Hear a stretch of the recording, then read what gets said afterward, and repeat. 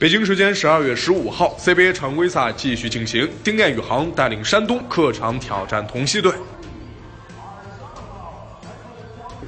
比赛一开始，双方的大外援率先进入状态，莫泰转身勾手命中两分，希克森就利用脚步晃飞莫泰，低手上篮也来两分。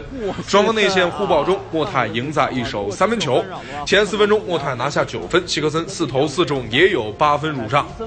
比赛来到五分钟，引了半截身的丁彦雨航终于有所发挥，队友抢下后场篮板，想都没想就找到快下的丁神，小丁接球上篮命中个人首球，巴赫拉米宝刀未老，回过头来便底线突破丁彦雨航反手上篮。首节结束之前，同曦巧妙换上希克森打出精妙战术，同曦领先六分进入到次节。拿到球，好球，战术打成了。第二节，希克森继续着自己在内线的统治力，打成二加一。不错啊，两分打进还要加罚。而山东国产魔兽也不是吃素的，反击中接到张春军传球，便为观众献上了双手暴扣的大礼。此后，火箭民宿曾经的九剑仙劳森同志在进攻端是接连遭遇大帽。帕哥反击中送出妙传，希克森神兵天降以及势大力沉的双手隔扣点燃全场。山东队也是被迫请求了暂停，毕竟曾经也是 NBA 全明星级别的控卫。劳森暂停回来，底角三分球手起刀落找回场子。同时这边帕哥同样是无人能挡，单挑山东的整条防线打成二加一，双方打平结束上半场。一边再战，帕哥反击中小手一抖，助攻篮下的郭一飞上篮得手，取得领先。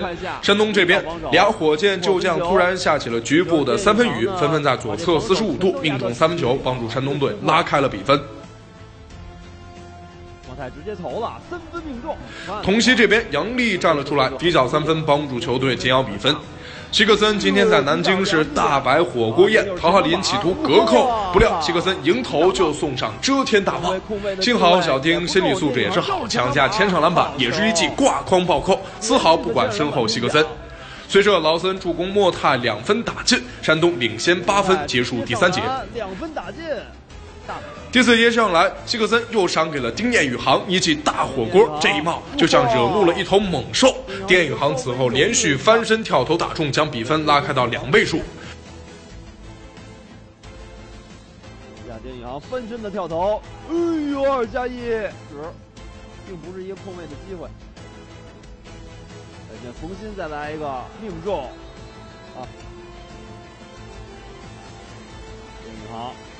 被打杨丽要的一个打板儿，随着贾诚在篮下强势打成二加一，同曦此后再无力将比分差距缩小，最终山东队以一百十一比一百客场战胜同曦，继续领跑积分榜。腾讯体育综合报道。那同曦。Step on the land.